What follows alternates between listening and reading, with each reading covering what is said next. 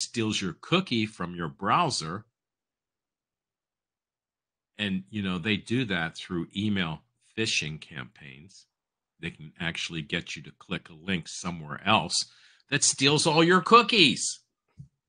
That's a whole nother episode, right? Or a whole series we could probably do on email phishing campaigns. Yeah, email phishing is spoofing the human persona and getting the human to do things that they normally would not do because they're trying to help someone. Right. Whether it's themselves or somebody oh. else that's asking for assistance. And that's why they're so successful because as humans, we want to help everyone succeed.